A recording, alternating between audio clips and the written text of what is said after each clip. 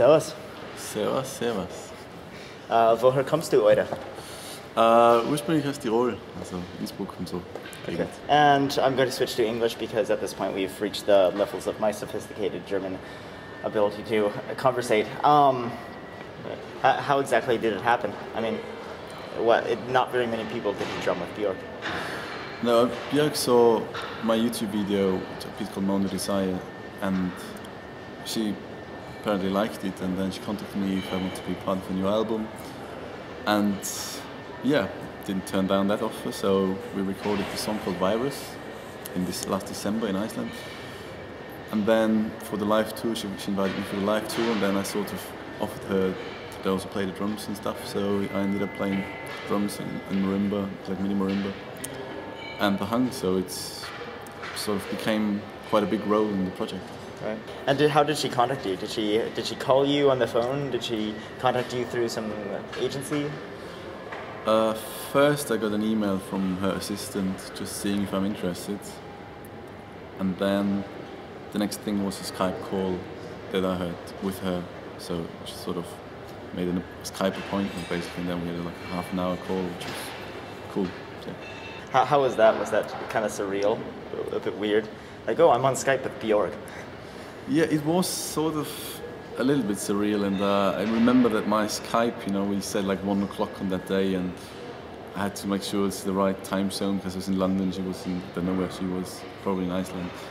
And so I, and then I went on Skype, and then just uh, like a minute before my Skype crashed for some reason, so it was a bit stressful, and then I had to sort of restart the computer, and I was a bit late, and then I, at the same time, got a call from the assistant where I am on Skype and so. But uh, it was all fine. It was yeah, great talking to her. She's a great lady, and um, yeah. nice.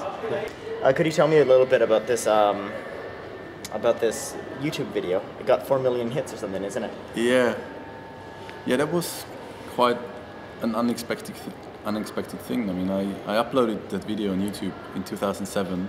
I recorded it in a in a basement in Innsbruck, and sort of I wanted to, to promote my album at the time, and and that worked well. But unexpectedly, a Japanese guy downloaded the video and re-uploaded it on his account, and a slightly different name called Hang Solo, and I had no control of that video, and I was a little bit annoyed actually about it because uh, you know it was my video. He called it a different name, but luckily he put my website link underneath it. And suddenly this video got more and more hits, and and turned out become you know it was sort of in top 30 music videos on YouTube of all music videos, and it was. It is now the most popular hang video in the world, and it's just incredible what happened. And luckily, many people have seen it, like many many promoters and many artists who asked me to collaborate with them. So it's just been an amazing, Uh, like I don't know, s- story of the video in a way. It's, it wasn't expected at all. Yeah, that's that's hilarious because you didn't you weren't like one of these YouTube people who are like, oh, I'm going to you know tag it like this, and I'm going to do all these comments, and I'm going to find a way to make this popular. You just uploaded the video, and then it became popular. Yeah, not not at all. I mean, I didn't think about any mani- manipulation, and it was totally out of my control once the Japanese guy uploaded anyway. So I, you know, I can't even edit the information of it, and it's just out of my control. This video, but it is great, and so many people have also done remixes. You know, on, in the internet you find that everywhere, and it's been used for TV advert, and it's just doing its own thing, and I can't really control it, but. It's definitely helping me. I wanted to attract attention with it and promote my album, as I said, but you know, never expected. I mean, to, that, that that that could happen, and neither was YouTube that popular at the time. YouTube was just out for two years, and uh, so you know, it's all changed. Uh, the, the, the importance of YouTube nowadays is just different than at the time. But it's also the amount of videos. At the time, there were just less videos on YouTube, so I think it was easier to get more hits nowadays. There's so many, you know, everyone. You, know, you go out in the evening, put your phone up, and then it's on YouTube suddenly. So now it's millions of hits and uh, millions of videos and not many hits. Right. So that was sort of lucky that that happened at the right time. Now you're not just doing the project with Björk. You're doing se- several other uh, musical projects. Well, what what would be the common thread between them, and what's what, what also what separates them?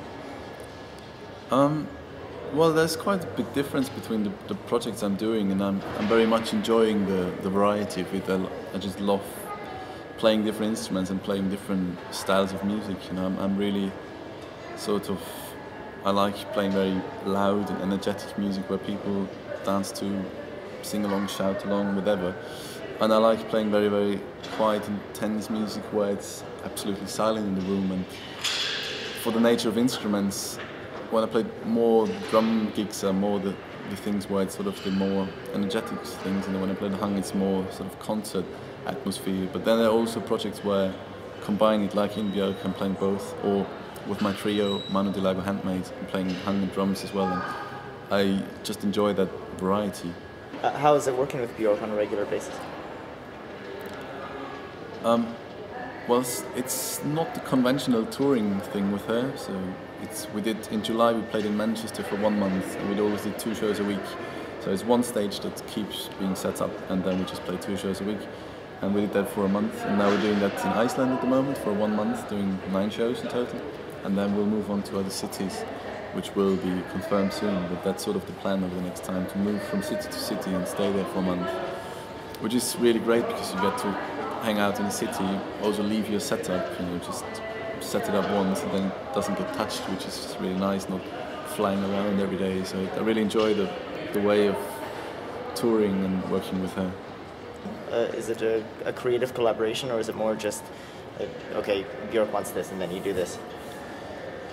Um, well, on the album I only did one song with her, which is called Virus, and for that it was a very creative collaboration because we sent back and forth a lot of material and um, she, she likes being offered a lot of stuff and, and, that's great for me because I sort of could make the, the song, the hang part especially my own, offer it to her. Then I would get some feedback and then I offer it again. And so it's sort of a, doing an arrangement together which is a very creative process.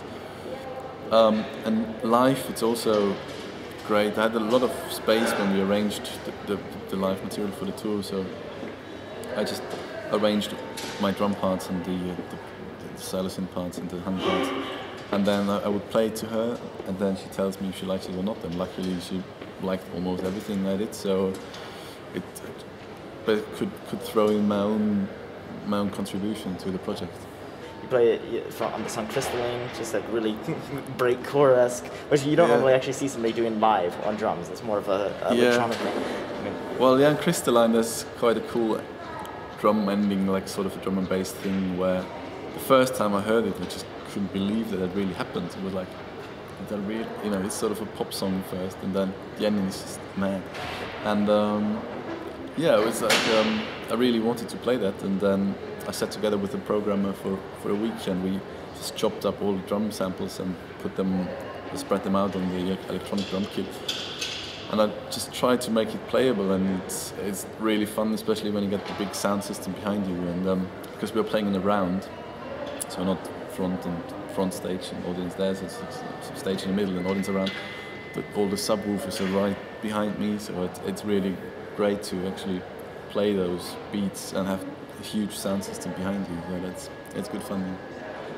Um, was that the most difficult part for you from the Biophilia project? or what, or what would have been? If, if not that, then what? Um, in general, it's it's quite a challenging pro uh, like repertoire to play, especially the new album is, is, is, very challenging. But you know, it's I just love playing challenging music where you you don't sit there and, and just play a backbeat and switch off and watch the girls in the audience. It's like literally challenging music where you have to totally be focused all the time and I'm not sure what's the most difficult one. You know, it's um, um it's, it's, it's also not easy switching between all the instruments and one challenge is also just keeping in mind what the what the sounds are, which pads, because it changes in every song, and sometimes even within the song, my setup changes. So I have to, to memorize quite a lot of samples. So it's, I wouldn't say it's technically really very challenging, but sort of the whole thing arrangement and the whole instrument section is sort of um, it's yeah it's that, that's sort of a challenge but a, a good challenge which I really enjoy doing.